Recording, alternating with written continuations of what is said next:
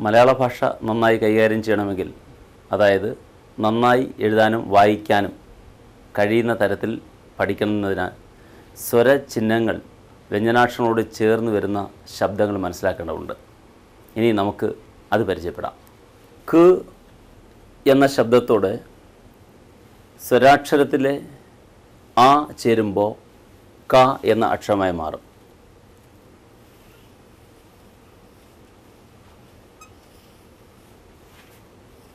ക് അധികം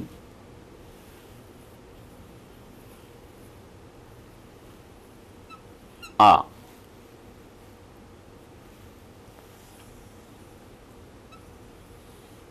ക.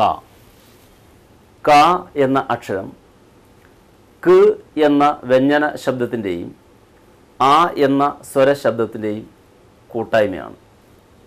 അതുപോലെ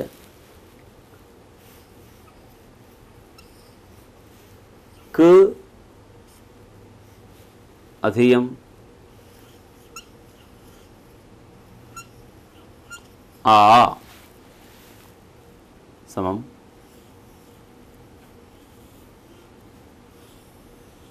കാ ക് പ്ലസ് ആ സിക്കൽ ടു കാ കാ കാ 그, 아, 가. 그, 아, 가.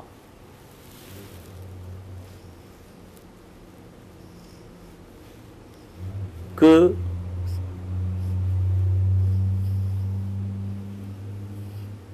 이,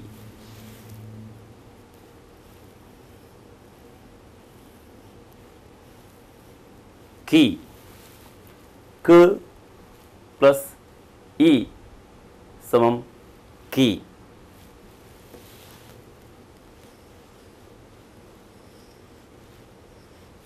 क प्लस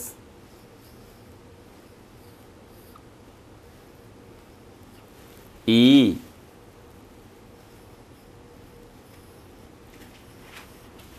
की का का की കീ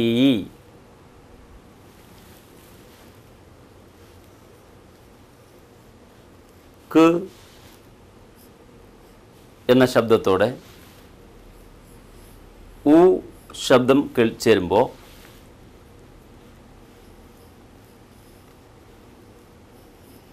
കു എന്നാകും. ക് പ്ലസ് ഉ സമം കു.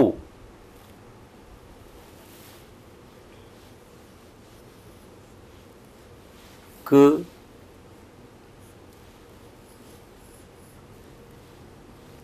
ഊ ക് എന്ന ശബ്ദത്തോട് ഊ എന്ന സ്വര ശബ്ദം ചേരുമ്പോൾ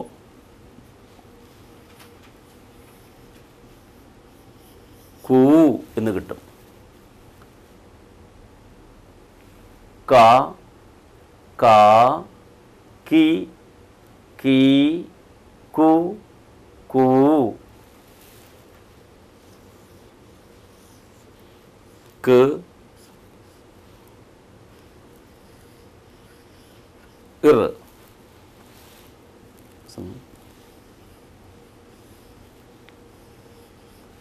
கிரு. கு அதிகம். ரு சமம். கிரு. கா.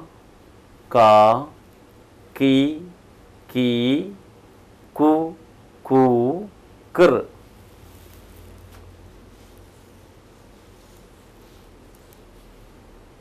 ക്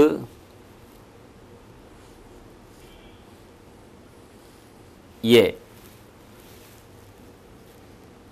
കെ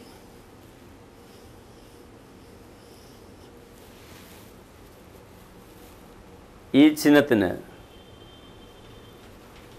ഒറ്റപ്പുള്ളി എന്ന് പറയും.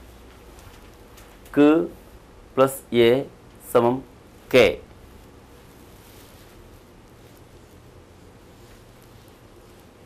ക് അധികം എ സമം കെ. ക് അധികം ഏ കെ. അ ആ ഇ ഇ ഉ ഉ ഇറ് എ എ. ക ക കി കി കു കു കിറ് കെ കെ.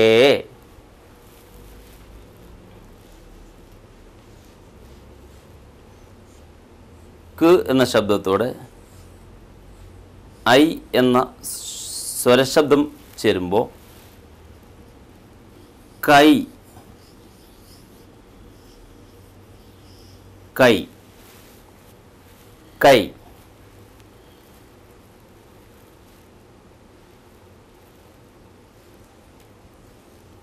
ക് ഓ ക് അധികം ഓ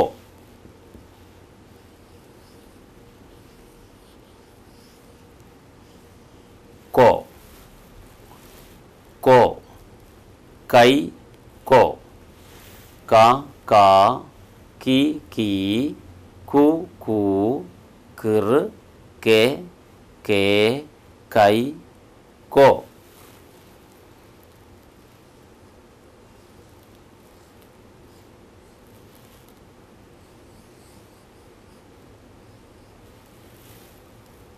오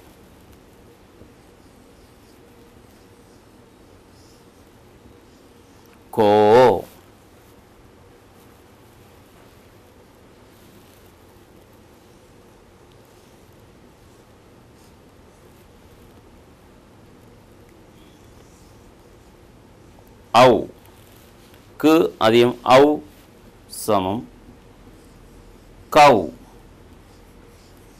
కౌ ఔ కౌ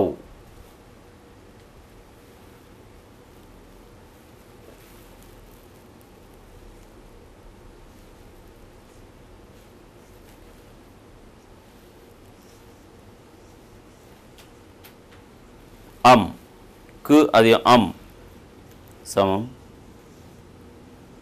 कम। का का, की की, कु कु कर के के कई को को कऊ कम। का का, की की, कु कु कर के के cái có cổ cấu cẩm.